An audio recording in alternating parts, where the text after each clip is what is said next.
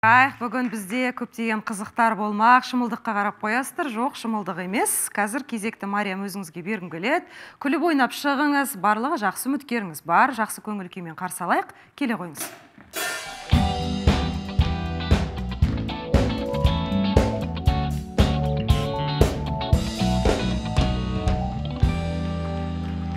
Қалайсыз?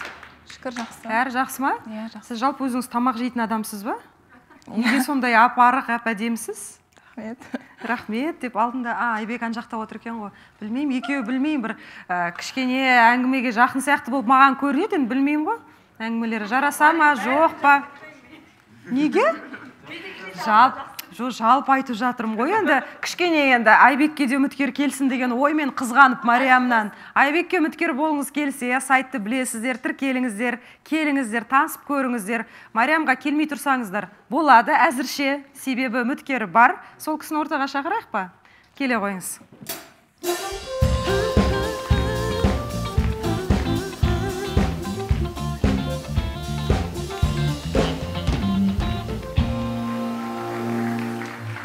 Сәлеметсіз бе? Сәлеметсіз анна ханым баршаңызды сәлеметсіздер ме? Қал жағдайыңыз қалай? Жақсы рахмет сіздерде. Шүкір аман есен сізді көргенімізге өте қуаныштымыз. Өте қуаныштымын. Ал жаңалықтарыңызбен бөлісіп өтіңіздер. Кездесу болды ма? А, Иә, болды. ә, кездесу болды ана ханым. Ә, біз нұрғали екеуміз киноға бардық. Енді алдыңғы кездесуде көрс айта алмай қалдық қой. Сол кездесуде біз тамақтанып әңгіме айтқан болатынбыз. Сол кездесуде бұл кісі маған предлагать еткен киноға барайық деп. Ол күні білмеймін сол көңіл күйім болмады. Ма ба- бармадық иә әйтеуір бір жағдайға байланысты иә. Иә, содан кейін бармадық. Кинода кездестік. Бара жатқан кезде сөйлестік қайтып бара жатқан кезде шамалы жаяу жүріп көп әңгіме айттық деген сияқты. М, фото видео бар иә. көріп шығайық. Нұрғали маған келе жатыр сол кездесуге қазір. Сәлем. Қалайсыз? Ой рахмет. Біз кинотеатрға келдік. Біз бүгін киноға келдік. Баршаңызға рахмет.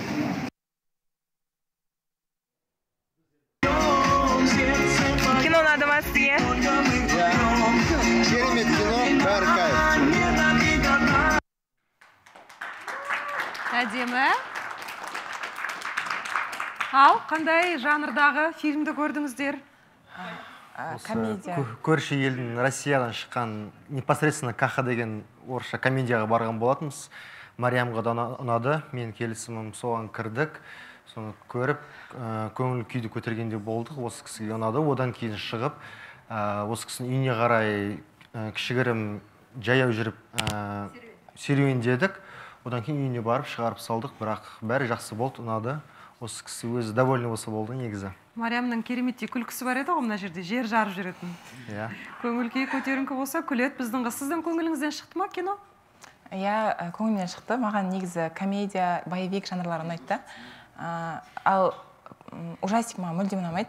Сол ана кісіге айтқанмын ғой маған ужастик ұнамайды десем қандай кино ұнамайды дейді. Сосын анодағы ана клоун бар ғой сол сол ано кино ұнамайды клоун десем маған соның дауысын салып мені қорқыта береді да и келіп тастап осы сөйлесем қорқады осы кісі. Сөйлемеші мен қашып кетемін дейді да.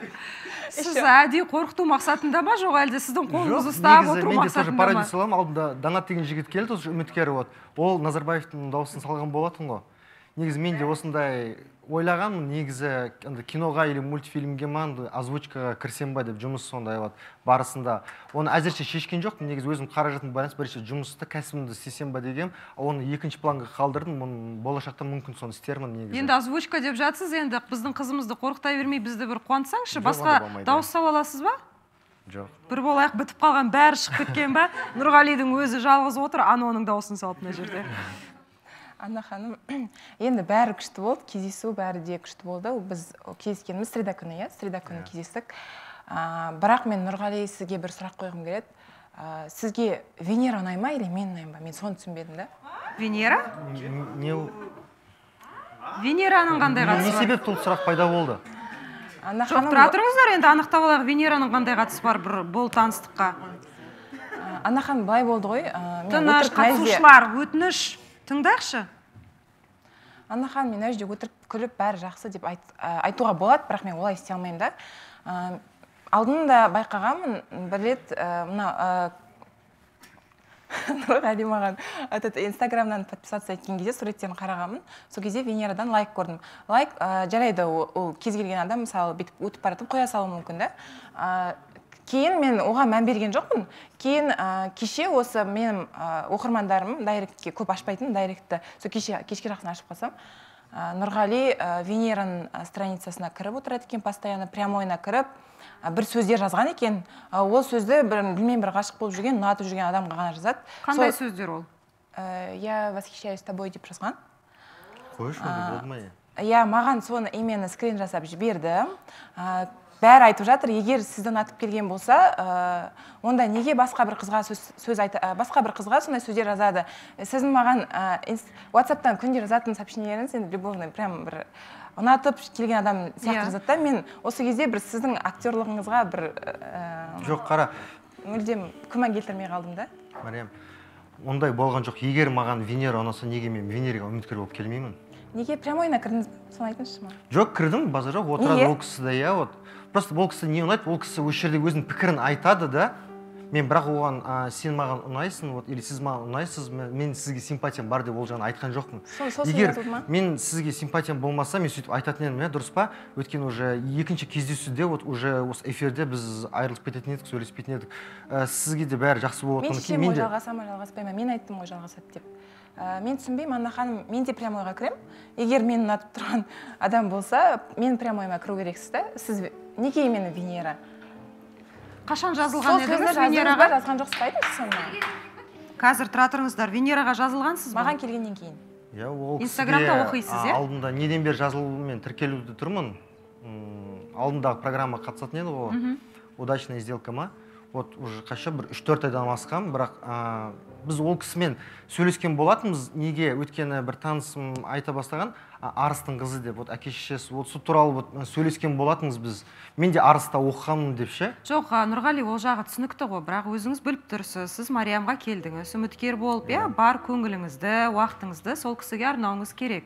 Біз қарсы емеспіз. Ботаның парақшасын оқысаңыз да айсұлудікін оқысаңыз да бірақ лайк қойып а, жеке жаңа дайректке бірдеңе жазып тікелей эфирге кіріп сен маған ұнайсың деген сияқты бір эпитетпен сөздерді жазу ол кішкене ыңғайсыздау сияқты. Енді мариям. Айтып жатыр ғой я восхищаюсь тобой деген сөз айтылды. Венера өзіңізден сұрай кетейік. Сондай нәрсені байқап жүрсіз ба? Негізі нұрғалидің тарапынан сондай сөздер жазылып жүр ма сізге? А, нұрғали қош келдіңіз. Иә. Енді ә, бұл жақта әңгіме прямой эфир туралы болып тұр ғой. Нақты қандай сөз болғанын білмеймін. Ә, бірақ маған ә, мариямның ә, адамдар адамдар емес қалай айтсам болады оқырмандар жазған болатын. Сізге ә, мариямның үміткері сіздің прямой эфиріңізге не үшін кіреді дегендей. Ә, бірақ бір екі ауыз сөз болды. По поводу восхищаюсь енді нақты білмеймін. Бірақ ә, ты классная девушки сарыса классные деген ба бір сөз, сондай бір сөз болды қателеспесем нұрғали.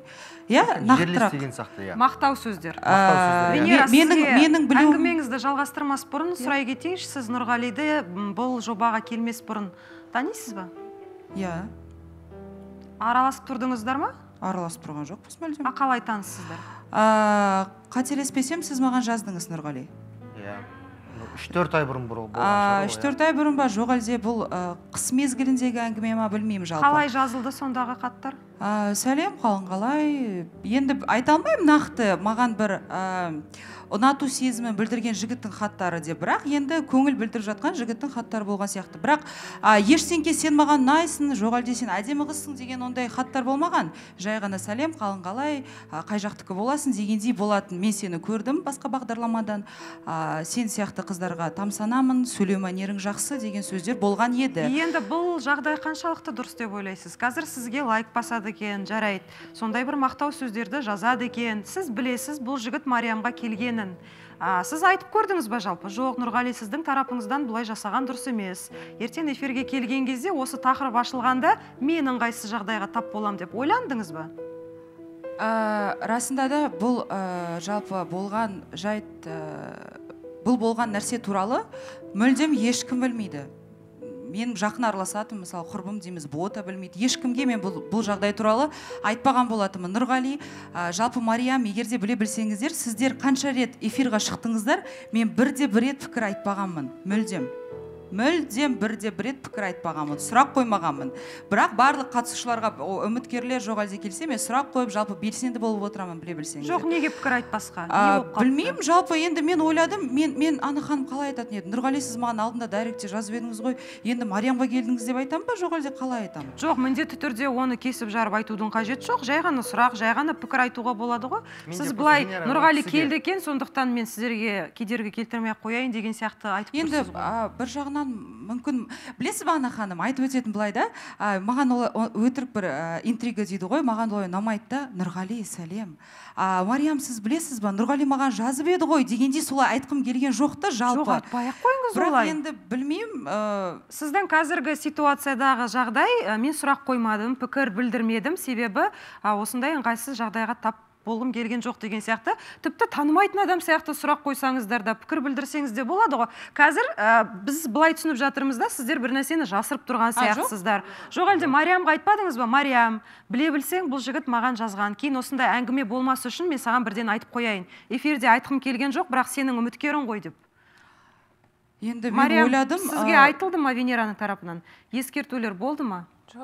Мен просто басында танысқан кезде вот а, құлшығашпын деді ру вот әке шешем негізі арыста тұрған бірақ өзім алматыда өскенмін деп вот сол жағын біліп мен может мен бөлелерім не болғаннан кейін құлшығаштар сол сұрағам алдында вот үш төрт ай бұрын ба вот арыс қаласында болып келді шымкент. Түркістан облысының вот. Мен де сол ауылда оқығам сол қай тұрады вот. Андай как подкат деген андай а, знак симпатии ондай мен ондай білдірген жоқпын. Жақсы мадина сіздің даусыңызды естіп қалдым. Айтылды дедіңіз.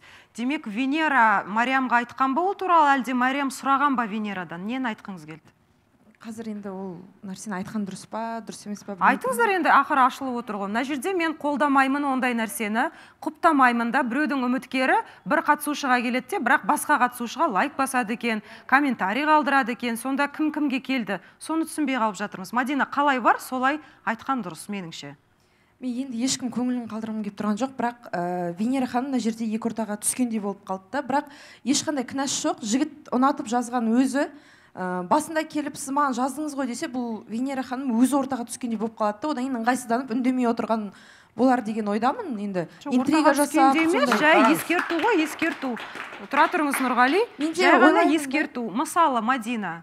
Біреуге келген үміткер жарайды нұрғали дей салайық алады да сізге жазады. Сіз не істейсіз сол кезде? Үндемей жүре бересіз ба ортаға түспеймін деп? Бір ауыз сөз айтылу керек сияқты ғой. Жігіттің өзіне я болмаса қатысушыға. Былай ғой егер де венера ханым барып ә, мариямға айтатын болса мариямның бірден уже көңілі суып кететін еді бұл жігітке. Соны ойлап бұл кішкене мүмкін бұл нәрсе ортаға шықпайды мүмкін ғашықтықпен жазбаған шығар деген оймен ә, ойлаған шығар. Бізге де мысалы неше түрлі жігіттер жазады ә, бір неше түрлі адамдар мысалы өзінің ойын танысып танысып көргісі келеді да кейін жауап бермесең уже ол жігіт ұнатпай қалып кейін мүмкін мариямға келген болатын шығар. Ә, жалпы мен кеше енді оны айтайын ба айтпайын ба? Енді бастадыңыз ғой мадина. Былай ғой анна ханым. Кеше киініп жатқанбыз барлығымыз қыздар өзіміз бөлек киінеміз ғой. Ә, сол жерде мариям венера ханымнан сұраған. Сұрадың ғой мариям? Ә, лайк туралы. Сол кезде екеулерің не әңгіме айттыңдар? Мен шығып Мен, кеткен Мариям? болатынмын бірақ бір бірлеріңе ескертіп бірдеңе айттыңдар. Мариям бастап жатқан үміткерлер туралы әңгіме болып кетті. Ә, менің үміткерім туралы сұрады жақсы барлығы деп солай әңгіме айтып отырғанбыз. Сосын венера ә, мариям бастады да лайк туралы менің үміткерім сізге лайк қойып па еді венера ханым деп венерадан сұрады. Жоқ мариям жарайды мадина қазір. Өзіңізден сұрайық а, ортада әңгіме болды ма деген кезде венера жоқ дейді сіз жоқ дейсіз бірақ осы тақырыпты қазір талқылап отырмыз неге? Кім үшін керек ол нәрсе? Неге ашып отырсыз онда? Анна ханым былай болды. Мен ә, венераға киініп жатқан кезде көр, лайгын сол кезде көріп қалдым шығып киініп жатқан кезде. Телефон қарап отырып сосын венераға айттым венера сіздің лайгыңыз тұр. Ыыы сіз танитын ба едіңіз? деп едім. Венера айтты жоқ танымаймын білмеймін онда қандай қа- қайдан жүрген лайк енді фото потому что бұрынғы болды да. Сосын ә, фото бұрынғы ғой мен и мен өзім ары қарай білгім келген жоқ. Жоқ танымаймын дегеннен кейін маған қызық емес болды да. Мен жарайды де- дей қойдым. Енді көріп отырмыз ана ханым айтсам Ага, бола айта ма қойыңыз. Бұл ситуация ушығып келе жатқан сияқты жалпы. Өмірі менде бір өмірімде сондай бір дүние бар да артық қыламын деп өзім тыртық қыламын. Бірінші күні есік ашылған кезде шымылдық ашылған кезде мен айтқым келетін барып мариям бұл жігіт маған жазған осыдан жарты жыл бұрын деп. Бірақ енді анық дүние ғой мариям. А, көзіңізден көрініп тұрды енді. Айта алмаймын жігіт ұнады ғашық болдыңыз деп. Бірақ енді жақсы жігіт келді дегенде бір сондай сезім болды да. Сол үшін мен ә, кішкене бір аяқ тарттым ба айтқан жоқпын ба білмеймін. Бірақ нұрғалидың өзі ә, ешқандай дым айтқан жоқсыз. Ә, коридорда бар мүлдем сәлем сәлем өтіп кететінбіз здравствуйте дегендей болды. Одан артық дүние болған жоқ. Бірақ сіздің қазіргі қателігіңіз мен ойлаймын ә, менің прямой эфиріма кіріп маған бірдеме ә, жазғаныңыз. Кішкене ә, және де оны мариямның оқырмандары мариямға айтқаны.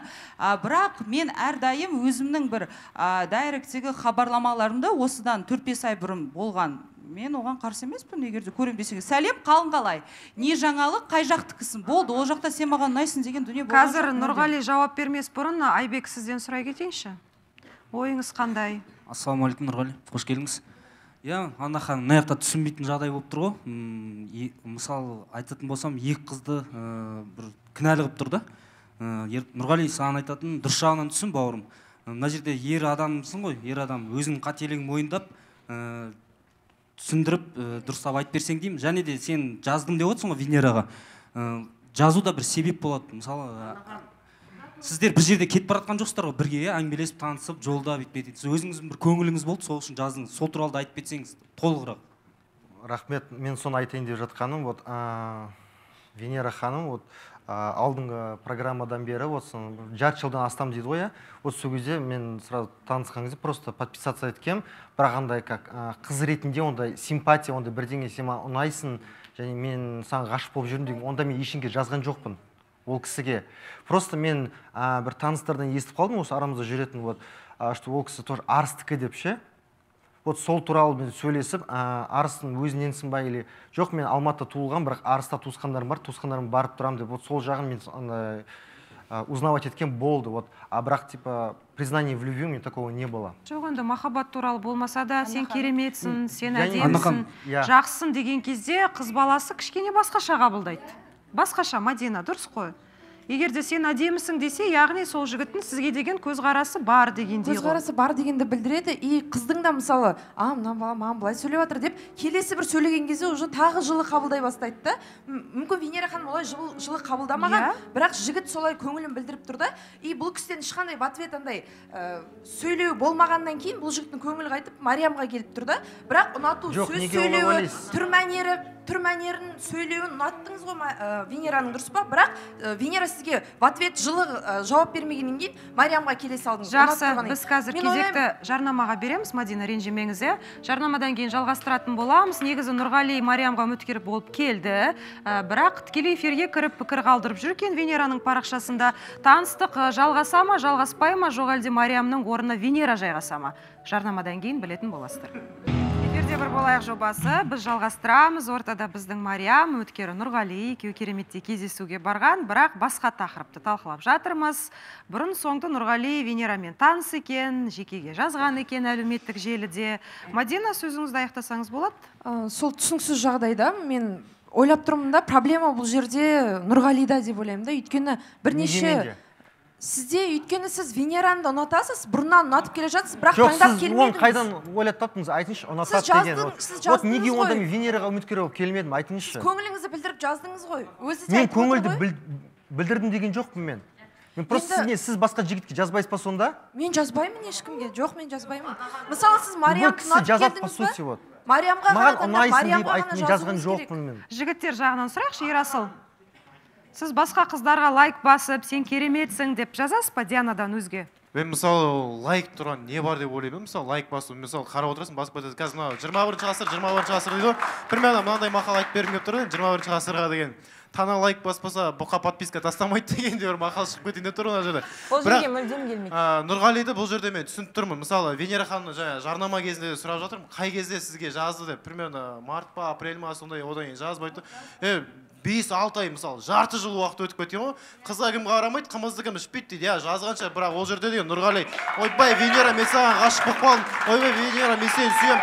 Жүр кездесуге барайық ондай әңгіме болған жоқ қой. Жай ғана қал жағдайын сұрады. Арыс қаласы екенсің руы кім? солай сұрап жоқ жатыр. Ерасыл тұра тұрыңыз иә. Мариям ол төрт бес ай бұрын болған жағдай ма? Міне сізге келгеннен кейін жалғасын тауып жатты ма? Ә, жоқ жазғанды мен айтқан жоқпын. Мен жазған жазбағанын білмеймін. Ана ханым Ә, бұл кісі маған келгеннен кейін прямой эфиріне кірген жаңағыдай сөздерді жазған. Ерасыл. прямой эфир туралы мен айтайын иә. Мысалы венера ханым ғой. Дәл мына жерде диананың көзінше тұр мен айтайын. Иә венера ханым мен сізбен тамсанамын. Мысалы қазақша сөйлегеніңізге қазақша тіл байлығыңызға тура солай орысша да керемет О, айтқан ғой солай. Жоқ не деп айтты нұрғали? Айтты просто сол. ты классный сонда жазған тобой. мысалы венера ты классная мен де айтайын одан не болып қалды мысалы. Жаман бір нәрсе ма мысалы ерасыл я восхищаюсь тобой. Ты понимаешь? Ол жерде деген. смыслын ондай әңгіме болған жоқ деп тұр. Мысалы нұрғали былай айтып тұр сен былай айтып тұрсың просто бұл жерде тырнақ астына кіріспе болып тұр да. И мына жерде венера ханым да жаманатты қылып тұр нұрғали да жаманатты қылып тұр. Егер нұрғалимен мысалы баста сен бұл жерде нұрғалидың кінәсі саған басында айтпаған просто мен. Венера ханымға осылай жаздым кезінде осылай сөйлескем танысым жерлесім негізі деп соны айтпағаны ал нұрғали олай айтатын болса саған сенің көзқарасың оған өзгеріп кетуі мүмкін еді нұрғалиға дейінші онда сол венера ханыммен сөйлескен әлі ұнататын шығар деп. Онда ешқандай сезім жоқ деп тұр. Ұнататын болса мен венера ханымға келетін едім деп тұр. Сен мына жерде просто тұрсың да өтірік деген нұрғалидан бір причина іздеп кінә іздеп өтірік қайтарып жібердің амал іздеп тұрсың все жақсы наргиза. Қош келдіңіз негізі жалпы анна ханым сіздің айтқан жаңа сөзіңіздің жаны бар. Бұл жерде әрине екі жастың арасына түсу емес таныстық арасына түсу емес. Жай ғана мен бір кішкене таниды екенмін деп венера ханым былай бүйтіп айта салса болатын еді деп жатырмын да. Енді қараңызшы венера ханым өзіңізді а, мариямның орнына қойып көріңізші. Қазір біртүрлі болып отырғанын көріп жатырсыз ғой. Сол себепті сол басында былай біз таныс екенбіз деп айта салғанда осындай ушығып кетпес еді деп ойлаймын. Иә сол ғой жаңағы айтқанымдай ана ханым былай айтқым келмейді да кадрдің сыртында болсын ішінде болсын білесің ба? Бұл жігіт маған жазған. Егер де нұрғалидің тарапынан расында да бір сөздер болса ғашықтық сезімі. Ондай болса мен айтатын едім. Бірақ қазіргі та- ә, таңда мен ойлаймын да нұрғали бір емес бірнеше рет кездесу болды марияммен қандай алаң келгеніне біліп отырсыз және сезіп отырсыз. Біле тұра кеше сіздің қателігіңіз прямой эфирға кіріп маған сондай сөз жазғаннан кейін сіз түсініп отырмын ол сөзде тұрған дүние жоқ дейді. А, ерасыл да қазір кішкене айтып отыр ғой мен айтатын едім восхищаюсь деп. Рахмет ол сөзге де. Бірақ нұрғали сіз а, біліп отырсыз бүкіл халықтың алдында қарым қатынас құрып отырғаннан кейін әрбір айтылған сөзіңіз басқаша халық түсініп қалуы мүмкін. Және нағыз ер азамат ретінде сіз мариямға айту керек едіңіз мариям негізі мен венерамен таныспын дегендей. Қазір кішкене енді бол бұрын болған нәрсе бұрын андай бұрын сондай деп отырсыз да енді жоқ әлде бір лайк жай ғана қай жақта қай жақтансың деген алған сөз үшін бір бірімізбен сондай бір байланыс үшін а, сізде жақсы репутация болып отырған жоқ. Және менің де осы уақытта отырып отбасы деп айтып бір ауыз өзіме кішкентай сіңіліме айтпағаным. Мариям маған сіздің үміткеріңіз жазды деген сөз мен жаманатты болып тұрмын. Сол себепті қазір мүмкіндігіңіз бар бар шындықты айтсаңызшы енді нақтысын. А, мен венераға келетін едім деп отырсыз. Мүмкін басқа да бір себептер болған шығар маған келмеуіме мүмкін мариям жай ғана сылтау болған шығар білмеймін. Болашақта бір а, басқа ойларыңыз болды ма? Нақтырақ айтып өтсеңіз себебі иә осы тақырыпты жабайық иә мен қайта жаман қайта. болып отырмын. Талқылай бермей нұрғали енді өзіңіз айта қойыңыз сізді кінәлі деп тұрған жоқпыз. Кімге жазсаңыз да лайк кімге бассаңыз да. Тек енді халықтың алдында болып жатқаннан кейін мариямға жай ғана бір ауыз сөз айтсаңыз біздің иә. қызымыз мына жерде қызғанып та айтып отырпас еді бұл әңгімені. Өзіне жақпаған болып тұр ғой ұнамаған болып тұр. Венера ханым айтып кеткендей мен ол кісіге постоянно жазып отырсам ол маған постоянно жазып отыр деп айтатын еді. Вот соңғы рет сол жарты жыл бұрын танысқан кезде сөйтіп жазды деп жатыр ол маған жақында жазды вот кеше сол алдыңғы күні ма вот эфиріне кірдім просто вот ә, басқа кісілер туралы не деп жатқанын вот сол туралы андай осы бір, бір болайық ә, осы шоу туралы сөйлесіп жатқаннан кейін осы сол жағын тамсанып сол жағын жазғаным бірақ ә, мына кісілер не үшін ондай симпатия бар деп оны ойлап табатынын білмеймін вот ә, или вот бір причина табу керек па или өздеріне цена набивать ете ма білмеймін. Мен негізі мариямды таңдағаннан кейін вот осы осы кісіге келіп тұрмын мен ше негізі соның барлығын мариямға біз сіз ақ сыртта кездескен деп бір ауыз сөз айтылса кеше осы кісімен телефонмен тоже сөйлесейін дедім бұл кісі мен шаршап келдім деді вот тырнағын істеп келдім деді да. Бірақ осы кісіге вот мен телефоннан ватсаптан вот а, комплименттер істеймін. Вот базар жоқ вот комплименттер істеймін. Не- неге онда мен вот венераға келмедім вот венера ұнайтын болса? Осы кісі- маған кеше ма бір күні вот алдыңғы күні сұрады менен ше венерамен таныссың ба? деді. Иә таныспын просто сөйлескенбіз деп сондай жағдай айттым сөйлескенбіз деген айтқан жоқсыз сіз жай танимын. Ә, ж- өйткені жаңағы удачный сделкадан көргенмін содан танимын деп айттыңыз. Сіз сөйлестім деп жаздым деп айтқан жоқсыз ештеңе ондай. Енді нұрғали? қазір өзі түсініп отырған шығар жарайды. Кім не істеп қойды кім не қылды сіз қазір осы тақырыпты не себепті ортаға салып отырсыз? Біреу айтқандай бір себеп керек па сізге таныстықты тоқтату үшін? Жоқ әлде нұрғали шынымен де көңіліңізден шыққаннан кейін кішкене қызғаныш бар ма? Білмеймін. Бірақ шешімді дәл қазір сұрағым келеді. Таныстық жалғаса ма? Анна ханым мен бұндай жағдайда мен бұндай бір өтіріктен басталған ара қатынасты жалғастырғым келмейді. Ал басынан осындай бір өтірік айтып басталса бұл үлкен семья болғанда изменаға ә, апаратын жол деп түсінемін. Сондықтан да ә, сізге келгеніңізге рахмет айтамын. Осы жерден таныстық тоқтайды. Нақты шешіміңіз ба иә нақты шешімім. Себебі анна ханым мен адамнан бір көңілім қалса уже оған екінші рет мен не істей алмаймын. Кішкене ашуланып отырған шығарсыз. Мүмкін ойланарсыз. Мариям жаңа барлығын түсіндіріп жатыр венера да айтып жатыр ешқандай арамызда ештеңе жоқ деп бір жігіт енді лайк баса қойған екен сізге айтпаған екен жоқ енді. мен мен лайк басты дедім ғой. Жарты- менің лайкым жарты жыл бұрын болған әңгіме ғой құрсын жалпы сіз нұрғали зритель зритель ретінде бір сондай айттыңыз ғой маған қаншама хат келетін алдыңғы жобада болған кезде. Венера біз сізге сенеміз сәттілік дегендей. Сондай форматта болды деп айтып отыр мариям. Вот басқа А, кісілер не үшін типа симпатия деп қаяқтан ойлап тауып жатыр Жоқ, Нұрғали, жақсы шешімді өзі қабылдасын. Мариямның соңғы сөзі болсын. Біз мына жерде тағы да бес сағат талқылап отырмаймыз. кім кімге. Жазды кім кімге лайк басты? Мариям Ә, венера мен мына жерде сізді кінәламаймын Ә, және де мен бір бес алты ай бұрын өтіп кеткен нәрсеге ашуланып тұрған жоқпын. Ол кезде жазса мен ештеңе демеймін. Кешегі прямой эфирдегі я восхищаюсь тобой деген сөз, сөз мен ондайды анна ханым мен ұнатпаймын. Және де осы жерде тоқтайды. Ары қарай жалғастырғым келмейді. Жарайды енді өзі білет жақсы таныстық тоқтады. Нұрғали көп рахмет. Келгеніңізге мүмкін тағы да сыртта сөйлесіп көрерсіздер. Қонағымызды шығарып салайық.